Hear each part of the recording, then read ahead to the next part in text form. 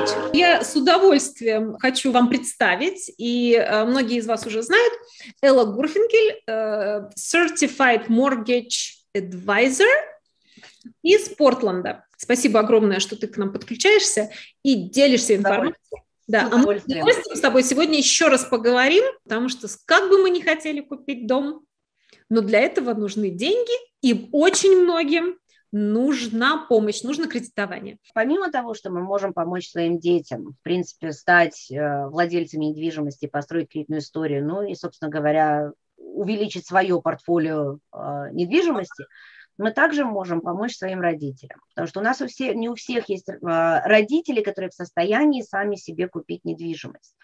То есть, допустим, это случай, когда родители привозят из другой страны, например, что сейчас, допустим, опять же, немаловажная ситуация. с... Очень острый вопрос, кстати, да. С, с Украиной и так далее.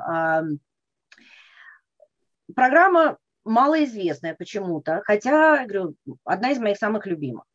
Я думаю, что а. большинство людей просто э, на моменте, когда они думают о том, как купить, смотрят на те э, возможности, которые общераспространенные.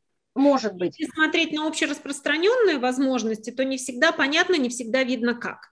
Э, почему я всегда говорю, что у вас у каждый, каждый практически клиент, к которому мне обращается, я знаю, что у нас у каждого всегда есть нюансы. И вот эти нюансы опытный mortgage брокер может э, знать, как их правильно строить для того, чтобы у вас получилось. В общем, нам, ребята, от вас нужно желание на самом деле, и любые вопросы можно решать.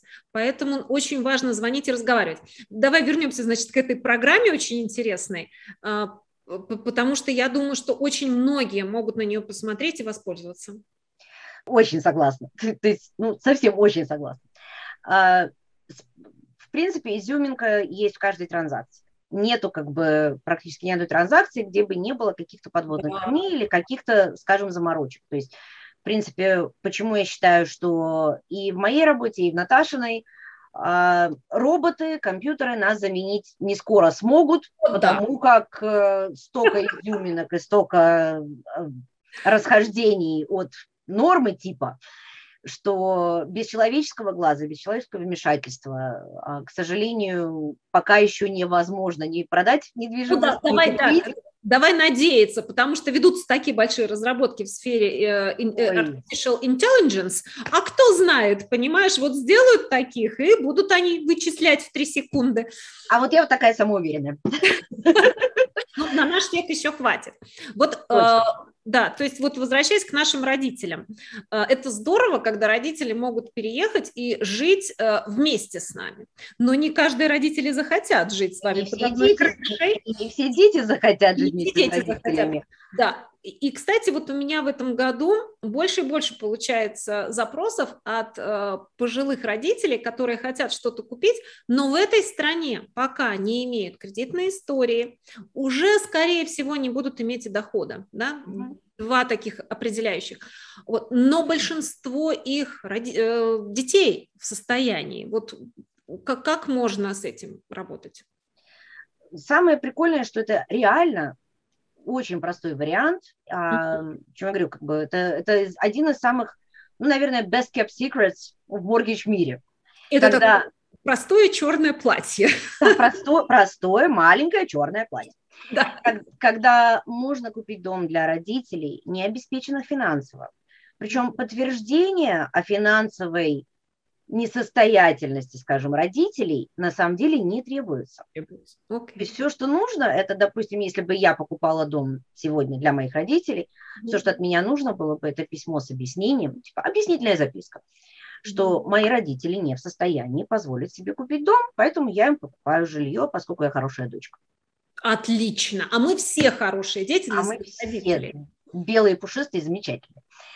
Вот. А, и при при этой программе а, процентная ставка дома, который не, от недвижимости, которая покупается для родителей, приравнивается к owner-occupied процентной ставке. То есть нету надбавок ни на second home, ни на investment property. А, естественно, нужно квалифицировать с учетом всей имеющейся недвижимости. И долгов. И долгов, правильно. Вот, но, опять же, покупка недвижухи для родителей с 10% даунпейментом.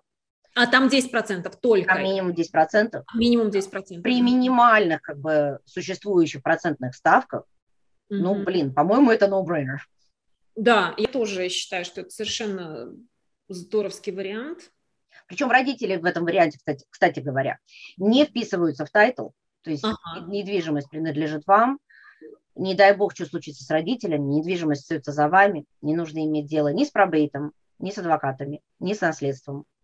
Отлично. Слушай, просто очень хороший вариант. Спасибо огромное. А, ребят, ну а к вам большая просьба. Если у вас есть э, сценарии, варианты, которые вы прокручиваете у себя в голове, но не можете сложить, предоставьте нам этот пазл, и мы с удовольствием подключимся к, к этому процессу. К вашим услугам два профессиональных пазл-солвера, так что обращайтесь, будем рады. Всего хорошего, Эл. Ну и всем нам удачи. Сто процентов. Спасибо, Наташа.